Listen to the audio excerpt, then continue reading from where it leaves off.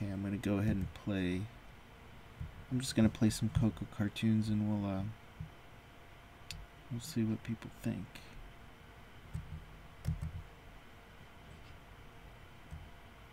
Is this part of your Koko channel? It's part of the uh, Jane's channel, the Fleischer. Oh, she's yeah, she has her own Fleischer channel, doesn't she? yeah.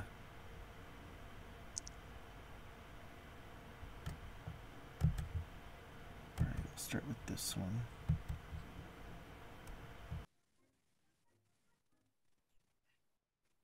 Yeah, I think I know which one this is already just by looking at that title. Yeah, which is it's not actually called Heavenly Days. It's called can't remember the title of it right now. Koko's um Yeah, I can't I can't think of the title of it.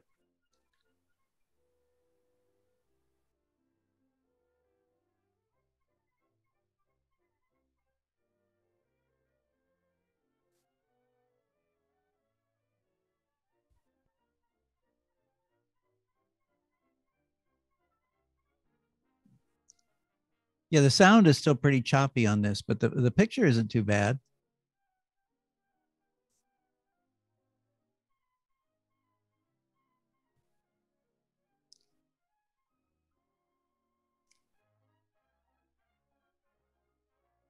Yeah, this looks a lot, an awful lot like my print of this.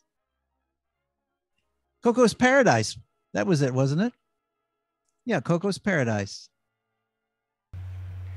Yeah, there's a 35 out there. We reached out to an archive. They have it, but they're saying that it's fragile, so we're waiting to see if we can get it scanned. So this is a little less fragile than their their 35. It's pretty nice photographic quality too. The shots of Max look pretty good. Now I think some of this is Doc Crandall's uh, animation of Koko and and Fitz here. Hey, I can hear my echo.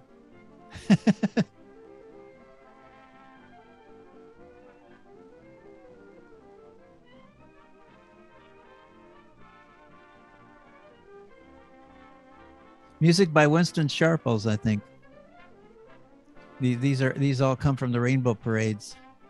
I like I love that rendering uh, when they when they turn into angels. So this is Koko entering and Fitz entering paradise.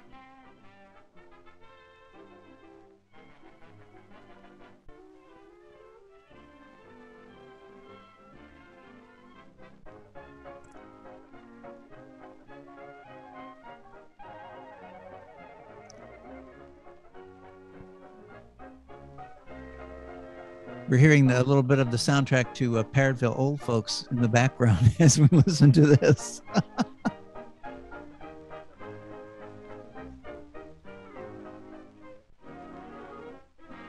Halos.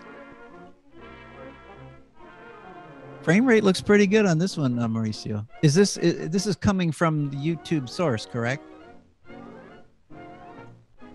So so the frame rate is much better. Yeah, I'm not recording to the same hard drive, so I think that's why it's it's running much smoother. Yeah. But this looks pretty good.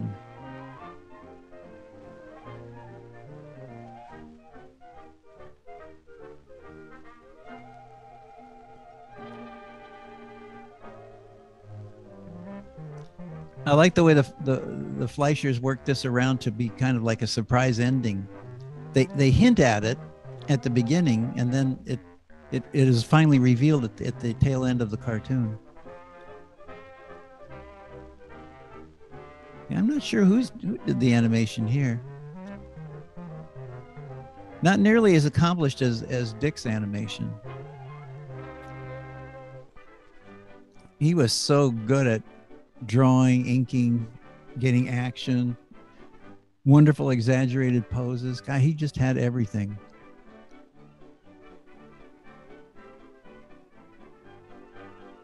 And you couldn't ask for a, a better person than he was, such a hospitable guy.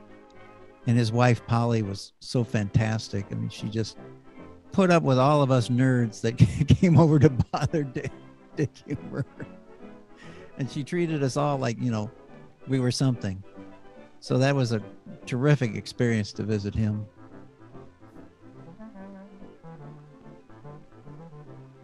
That's a good little run cycle. I like I like that. Yeah, I like that stuff where uh, Koko turns around because he, he looks a little bit dimensional there.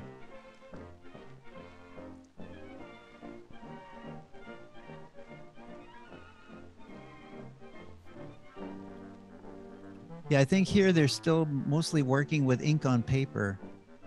They they really hadn't converted to cells yet.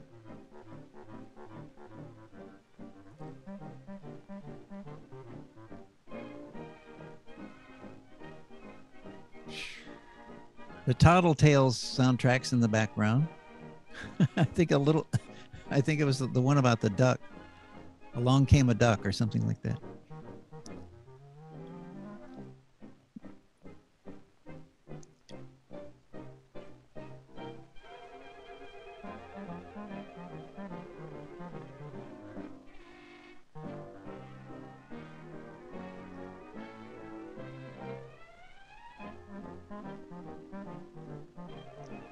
Things are turned into a spring.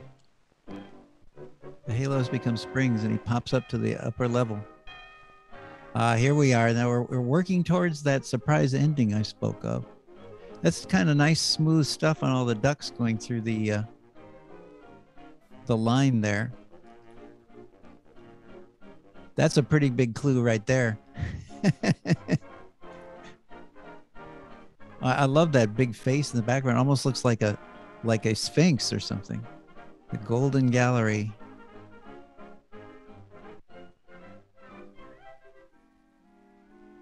There's a that's a cheap shot. ah, and then it's not quite so cheap because we're going from uh, the cartoon backgrounds back to the uh, back to the live action. Makes you wonder if somebody at the Fleischer Studio actually. I love the face on those pipes, the the, the circular uh, face. Wonder if somebody at, at Fleischer Studio actually had to build this t- target for them to shoot at. Who knows? Or maybe they went to Coney Island, you know, and shot some location material. It's hard to tell. Yeah, I love that where they go back into the inkwell. That's oh, Max, quit shooting. He's trying to kill off his own creations. Yeah, now these film video prints were nice. These were later acquired by Sturt Productions, and they just took the film video title off and put their own on there. Oh, there's Sturt Productions. Now this one is terrific because, um, again, Dick Huemer did most of the action in this one, and there's some uh, actions he used that uh, he later used in his uh, Scrappy series where the baby uh, punches uh, Koko in the head.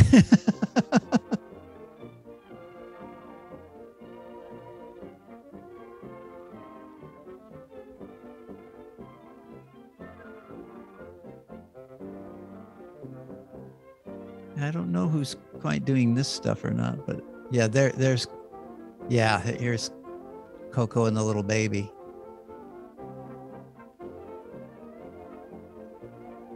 I don't think that's Dick's stuff right there, but it's coming up. Too bad they cut out the dialogue titles on these.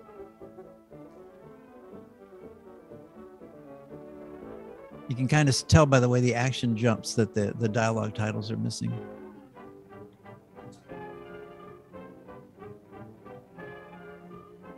I guess when they when they issued these to TV, they thought, well, children can't read. What are we going to do about this? Oh, just cut out all those dialogue titles. Who needs them?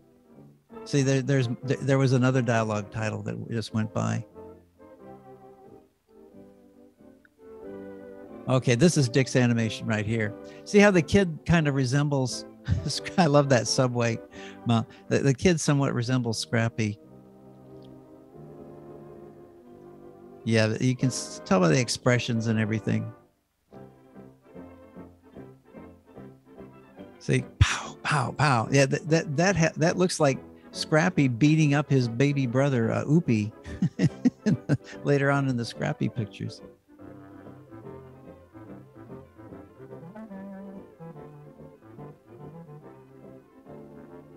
Yeah, Dick, Dick's drawing of and his action that he figured out. Like, look at that beautiful inking. Wow. All the variety of line there. It's a thrill just to look at it. It's so so beautifully done. All on the all inked on paper too. Look at the texture in that diaper. Wow. it might be tied over his head.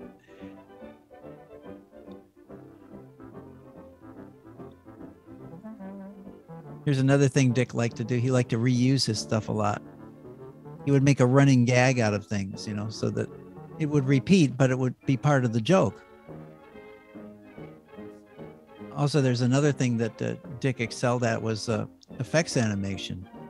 You know, the, the, the feeling of, of a super breeze blowing through the uh, through the camera shot. Oh, that's nice.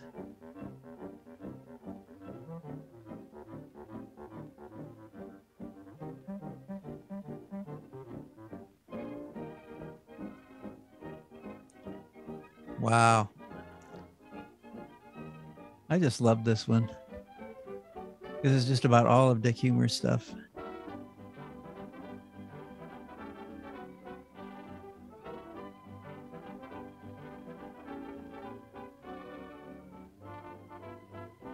It's a it's a kosher for Passover sky.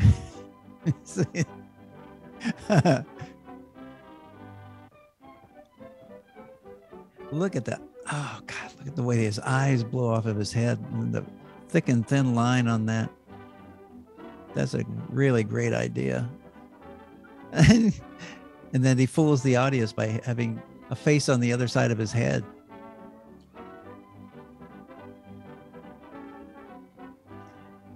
Yeah, that kid really is the ancestor of Scrappy. Just the attitudes uh, of of him, and you know, the, his is kind of the way he frowns a lot. Now there is is a um, I don't know why he had a, a Chinese uh, looking face there. He might have been referring to a Chinese restaurant, and then of course the pawn shop, you know, with the with the three balls on it. And now the, the little baby is counting out that piece of cloth. Oh, it's a it's actually a lightning bolt. I see. Yeah, the lightning bolt collapsed to the ground, and the kid counted it out.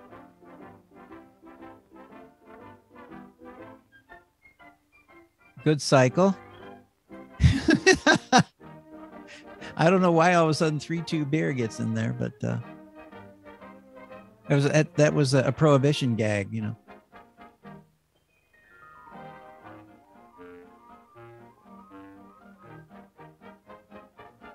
Love the feeling of wind there.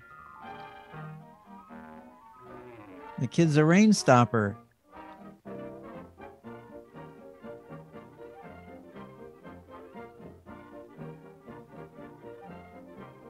Look at that stuff. Wow. Dick's getting a lot of mileage out of that cycle.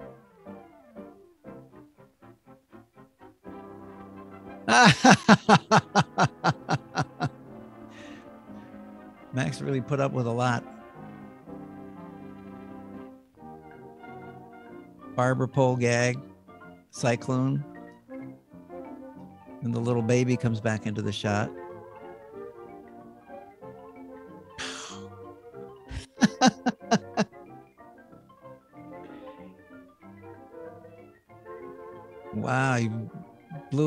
Of Max's shirt off.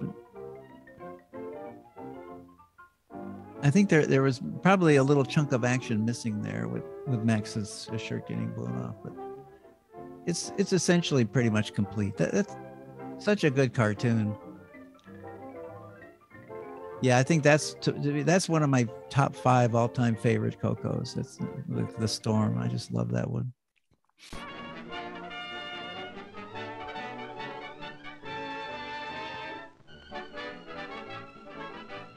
I think Mauricio's got enough uh, Kokos to last all night. yeah, I think I, I think Dick worked on this one too. Koko Showtime.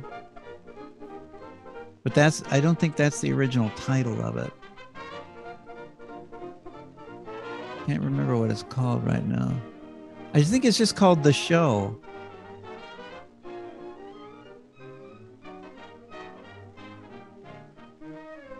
That's a really good indication of the way they handled Koko as far as leaving gaps in his costume to allow for to show wrinkles. And then they just inked around those wrinkles. They just left them blank so that there was uh, texture in his costume.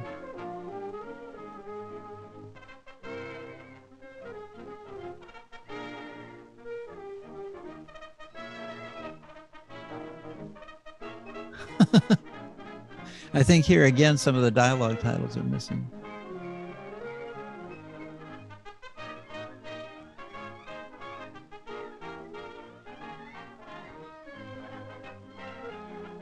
Makes you wonder how they um, how they actually derived the stories for Koko. You know, whether um, Max and Dave worked it out all themselves in these early ones, or they had a story crew at this point.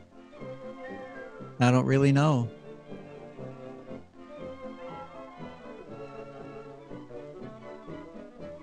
It looked like they had to pretty much carefully figure out, at least in the combination shots, what Koko was going to do and what Max was going to do, so that they could, uh, you know, finish it up later and do it, everything correctly. But who knows? Maybe there was some improvisation going on there. Check your guns here.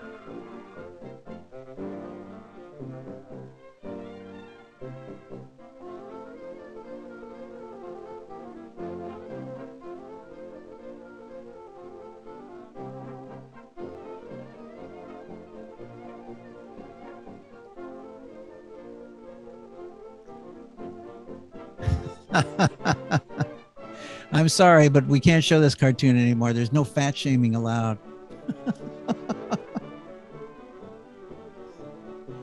he just wants to make sure that she's comfortable. yeah.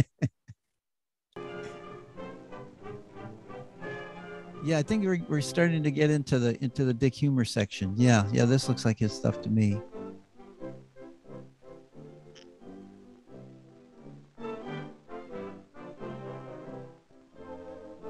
Yeah, this really looks like his.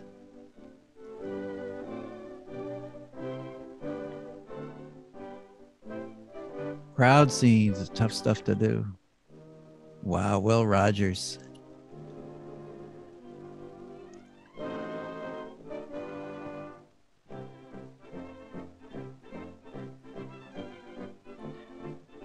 I guess the Fleischers would have been familiar with Will because he performed in the Ziegfeld Follies you know, going all the way back to what, 1915, 1916.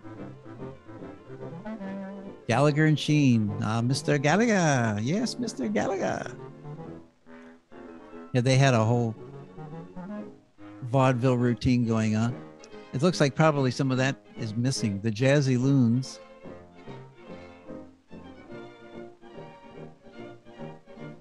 It's hard to tell what kind of a soundtrack the, Fleischers had in mind for this. They might have had a special score written to be performed live in the theater. It's hard to tell. The, is that Theodora Duncan? Or is that no, that's Isadora Duncan. Sorry.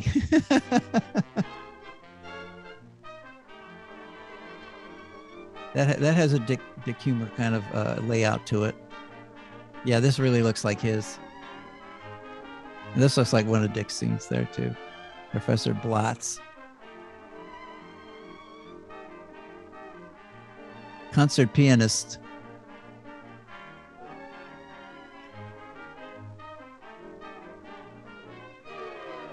Love the way that piano looks, the way it, it bows to the audience. Equestrian, beautiful. Yeah, this looks this looks like one of Dick's uh, cycles. The inking looks like his.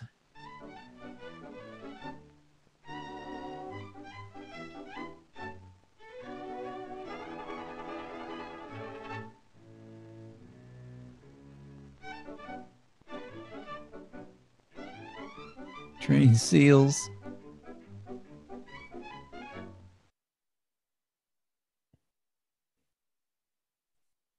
Gobbles gobbles the ball right down.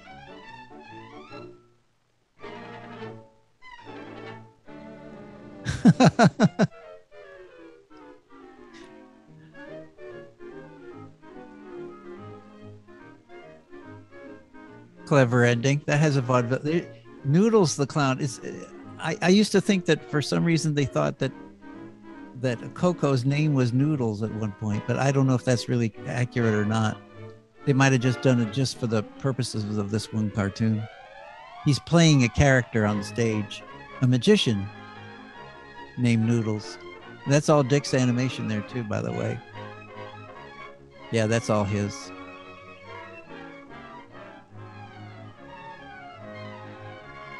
Here's the magic. He's gonna, gonna drink all the water in the goldfish bowl.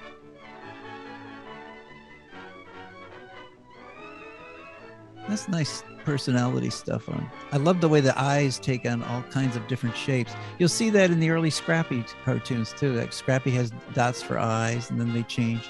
God, look, that's a wild sequence. Oh my gosh. Ah.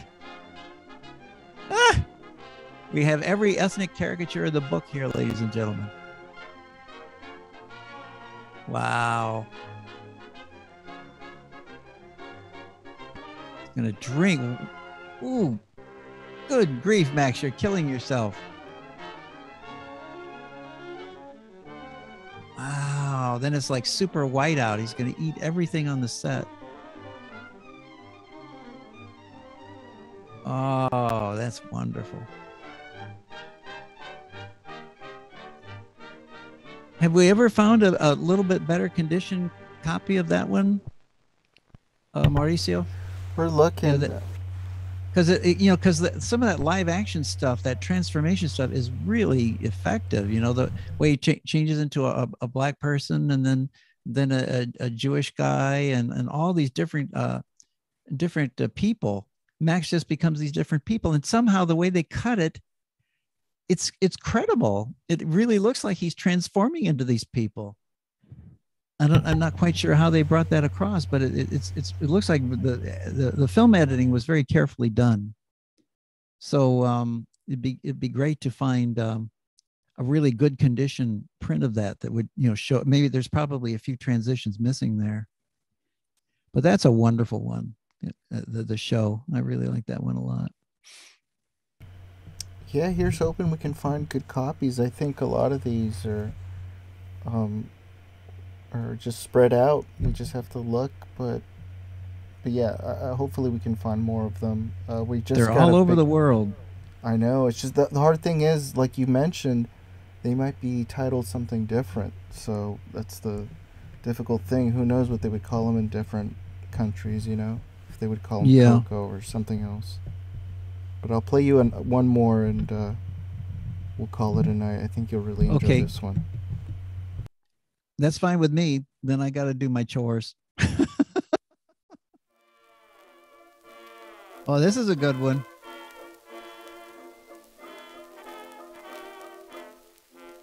I, I had a print of this that I, I put together the hard way from about three or four different prints, all home movie prints. And I, ju- I just tried to reconstruct the whole cartoon. Took me a long time to finish that one it's got all these little paper squares that look like they've been derived from a you, they used to have these uh, transfers you know where you'd rub them down like decals. Yeah they're decals. You'd rub them down and and it would uh, a little portion of your picture would transfer to another page. Yeah max is is licking the the, the, the decals as they go down Now, I'm not sure if, uh, if this is one that Dick worked on or not, but it's got some really interesting ideas in it. There's again, he's rubbing off some more transfers, some more decals, and this is just an endless parade of um, fairy tale characters. Like this is is just an old an old witch, of course.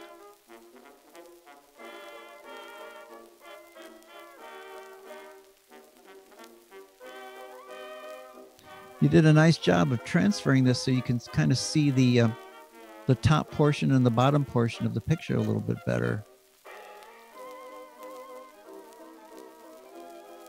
And there's little boy blue, of course.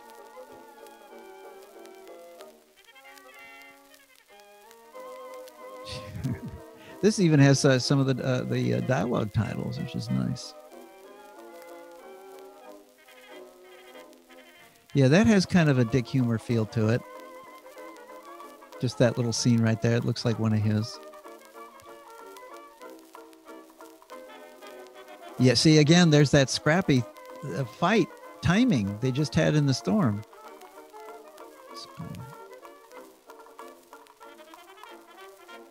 Yeah, that, that has a that has a Dick Huemer feel to it.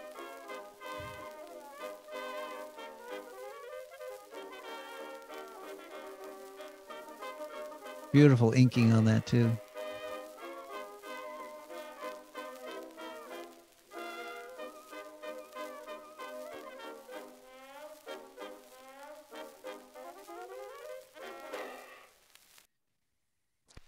Yeah, there's a nice, nice little pantomime, little pantomime bits and acting bits in these that Dick knew how to draw.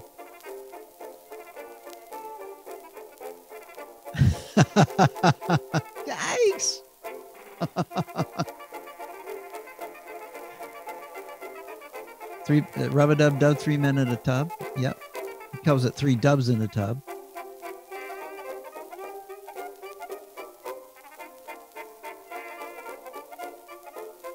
That has a feeling of a Dick Huemer thing. It, looks like his effects too. He was pretty adept at doing effects animation in, in the in the pen and ink uh, era.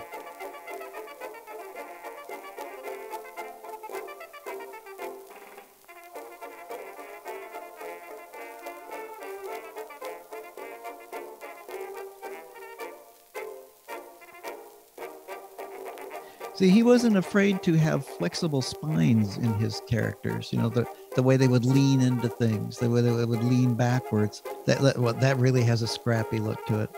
But the way the little kids are going to slide down the hill, Jack and Jill. Yeah, look at that.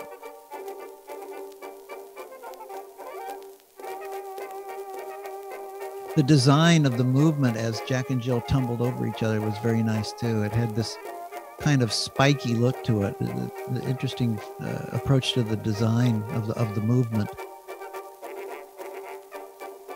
Again, a ton of little kids, very much in the scrappy vein, and, and the, the little ethnic caricature runs out of the shoe. That has a nice feeling of transition. And it looks like Krazy Kat, doesn't it? The cat and the fiddle it has a lot of that has a lot of strong Krazy Kat feel to it. Now i don't think that these are not uh, dick scenes. This is somebody else that did these. Maybe doc crandall. The dish ran away with the sp- spoon. The little dog laughed to see such sport and the cow jumped over the moon and all that fun stuff. Simple simon yeah. With pimpled simon Yeah, I'm not sure who did this scene.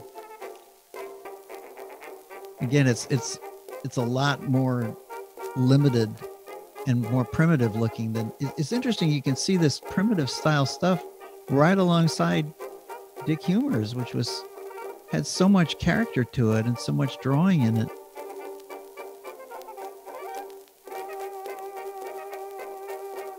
This animator likes to uh, change the staging a lot. He likes to to uh, have the characters, com- you know, rotating around each other and changing position in the layout.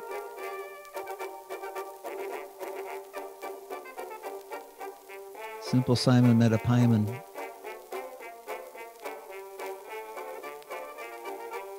Yeah, I think this is probably.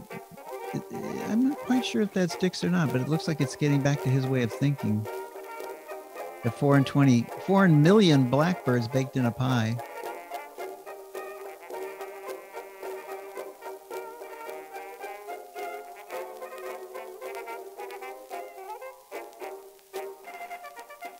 And he's going to put Humpty Dumpty up there.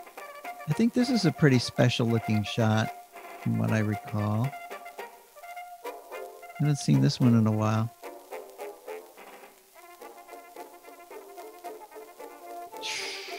And it's Max.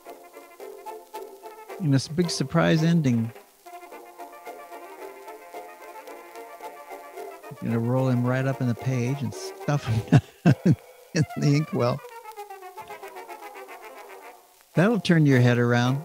Small Max goes in the inkwell, and then the full size Max's hand puts Koko back in the inkwell. Yeah, that's just that just shows That's you a- how much of a genius he was. Oh yeah, that's a real multi um, multi level thinking there. Again, I don't know how they worked out the stories on these, but somehow they managed it.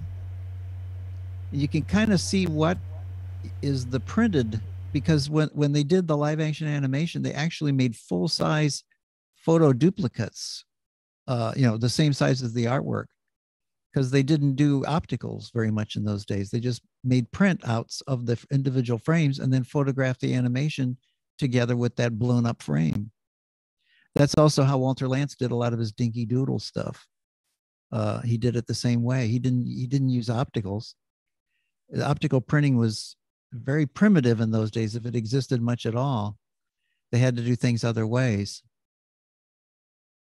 But there's a lot of terrific little special effects stuff going on in this cartoon and i love the effect of decals i think that's a that's a great idea have all these little uh, mother goose decals coming to life.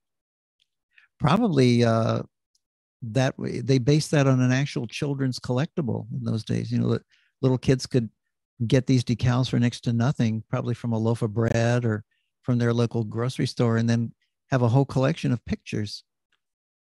Long before the internet you know kids had to get their little pictorial materials however they could. And uh, there was a lot of goodwill uh, put out by stores who printed these pictures and then they gave them away to kids. Like when i was a kid they gave us um, at the buster brown shoe store in webster groves missouri they gave us buster brown comic books. And they were so beautiful all in full color and the adventures of buster brown and tig and and all the characters from the Buster Brown uh, television show were in those comic books.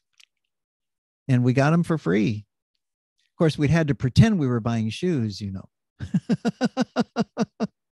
we would go in and look at shoes like like we actually seriously intended to buy a pair. and then the, the clerk would, would like us so much just for looking at the shoes, he'd give us a free comic book. So that's what, what the kids used to amuse themselves with before iPhones.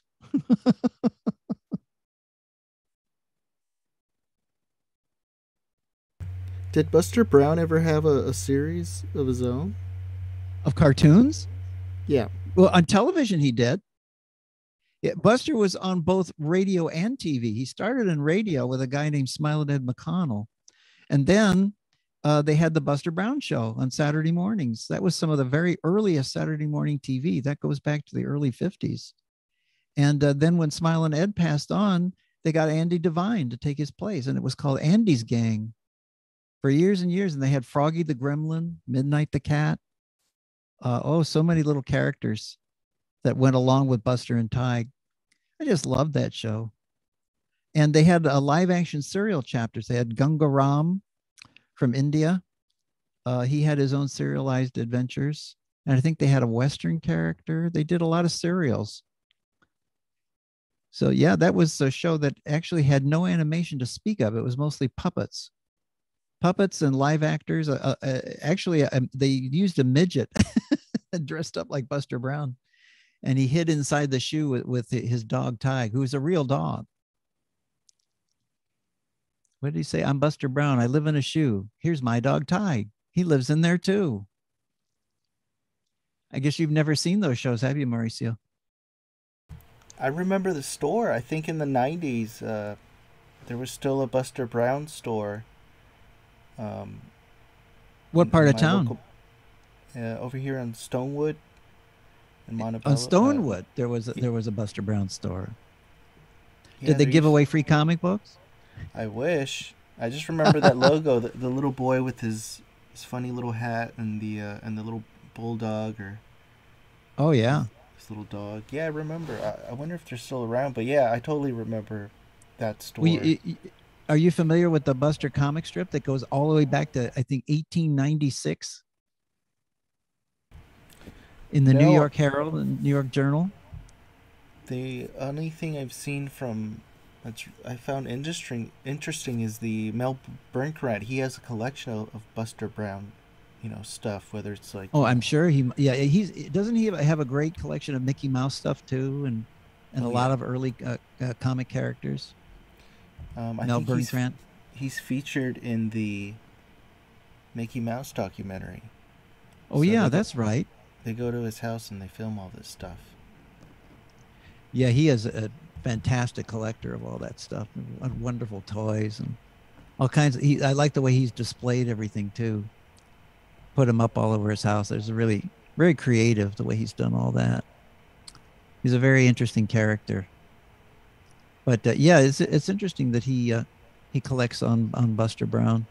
But I love the uh, uh, uh, James. I think it was James Felton Outcault who created the character and then too like the Katzenjammer kids two newspapers fought over fought over the character like they fought over buster like the way they fought over the Katzenjammer kids for a while two different cartoonists were creating two different strips with the same characters in two different papers that was quite a situation that doesn't happen anymore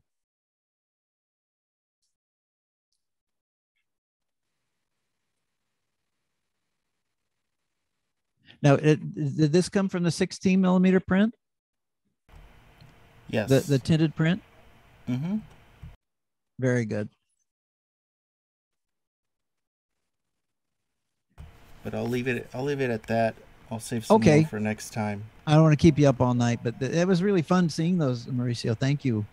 Yeah, of course. Um, and I'll have plenty more to show you soon. I think we're we're gonna have some finished Inkwell imps, and those are always fun to look at.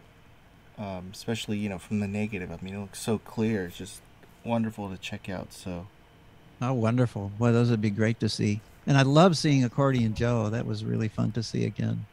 I love that. I love the song in it. I think Cliff Edwards, uh, you know, U- uh, Ukulele Ike or Jiminy Cricket, as he's known it, I think he also made a recording of that song.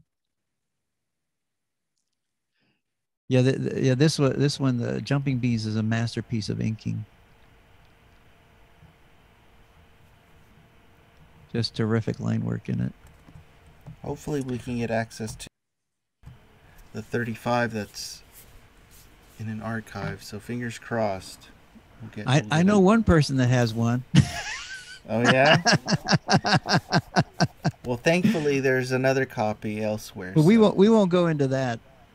But uh, thank you again, Mark. I appreciate your time, and uh, we'll save some more for you for next time. okay, terrific.